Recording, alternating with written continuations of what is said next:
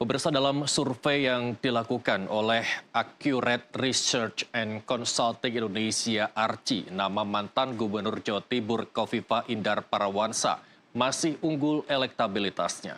Selain Kofifah, ada juga nama mantan Ketua PBNU Jawa Timur Kiai Haji Marzuki Mustamar yang masuk dalam bursa Pilgub Jatim yang digadang-gadang bakal menjadi lawan kuat Kofifah Indar Parawansa.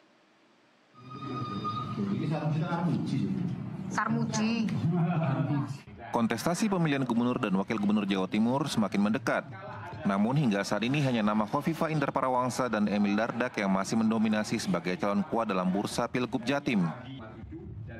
Bahkan hingga awal Mei 2024, elektabilitas Khofifa Emil tembus hingga 60 persen lebih. Meski angka tersebut cukup tinggi ditambah dengan banyaknya dukungan partai politik, namun survei ARCI menilai Khofifa Emil patut mewaspadai adanya calon yang bakal diusung partai pendukung. Meski secara resmi PKB belum mengumumkan sosok calon yang bakal diusung, namun nama mantan Ketua PBNU Kiai Haji Marzuki Mustamar mencuat bakal diusung oleh PKB untuk melawan Khofifa. Uh, memang dalam pilgub kali ini agak dinamis ya, meskipun secara elektoral Khofifah tertinggi, tetapi ada beberapa partai, tiga partai pemilih dari PKB, PKS dan Nasdem ini masih potensi tidak memilih Khofifah itu tinggi. Oleh karena itu uh, lebih uh, begitu kami uh, apa itu namanya analisa tentang temuan-temuan ini, maka Pilgub Jawa Timur berpotensi ada dua pasangan.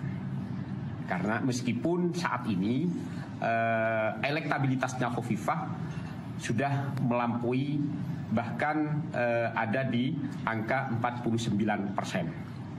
Kalau PKB ini memunculkan Kiai Marzuki Mustamar, maka potensi akan khususnya dari uh, masyarakat NU akan terbelah, akan terbelah. Uh, di satu sisi dia pemilih PKB akan ke Yai Mustamar, di sisi yang lain Muslimat NU akan ke Khofifah. Meski diprediksi akan menjadi lawan kuat yang mampu memecahkan dukungan suara NU, namun simulasi secara head-to-head elektabilitas Khofifah masih unggul di angka 59 persen. Dari Surabaya, Jawa Timur, jurnalis NTV Irwanda Ikadisa melaporkan.